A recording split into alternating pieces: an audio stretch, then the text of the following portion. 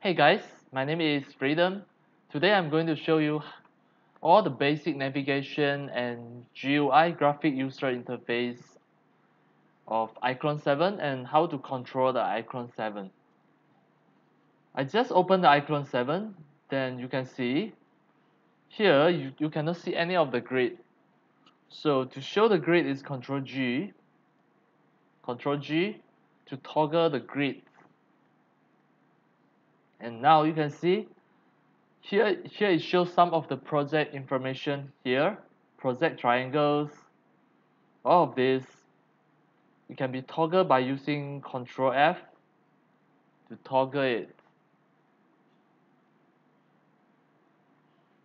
Alright how about if you want to rotate the camera rotate the preview camera you can press C and then you can use your mouse left click to rotate the, the preview camera. If you press X, then you can move, move the preview camera, press C to rotate. And how about if you want to zoom in and zoom out, you can just scroll your mouse. Alright, if you want to increase the speed the speed of zoom in and zoom out. You can hold the shift button then you can zoom in and zoom out faster. Then if you are rotating you hold the shift you can rotate faster. And if you want to move the camera you press X and hold the shift you can move it faster.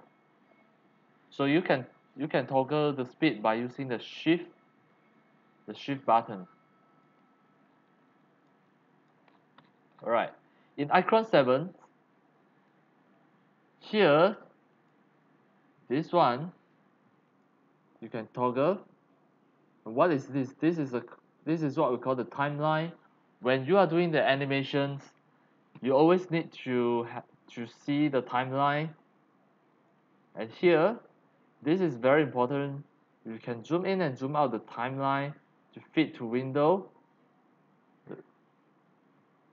the maximum is 1800 so by the way you can click the window workplace. You can choose all panel then everything will be here. The window workplace if standard. You cannot see the timeline. So you can just put it for all panels it's better. And of course you can always drag drag it to somewhere. Let's say the modified is here.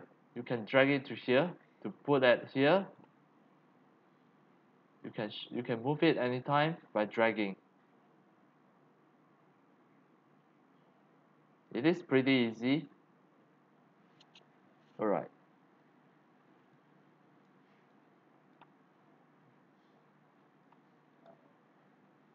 so all the contents you have to click the contents and you can just put any prop in.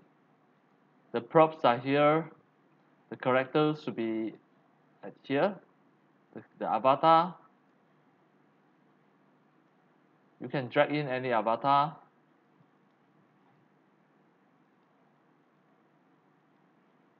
You can drag in any of the motion as well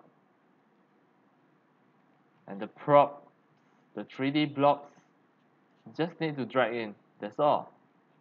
If you press F you press F it will view from that side. If you press D if you press S it will view from the side. If you press A will view from another side. Alright. So for today that's all about the navigations and all the panels and basic GUI graphic user interface of the iClone 7 and all of this tutorial you can just refer back. You can see my on-screen keyboard and on-screen mouse click everything display. So you can follow this tutorial easily. That's all for today. Thank you for watching If you love my video tutorial, if you feel all these tutorials are very helpful to your 3D animation and game developing, you can subscribe to my YouTube channel and also turn on the mini bell and select all to activate the notification so that when next time I publish a new video tutorial, you receive the notification immediately. See you in my next video. Enjoy happy animation and game developing. See you.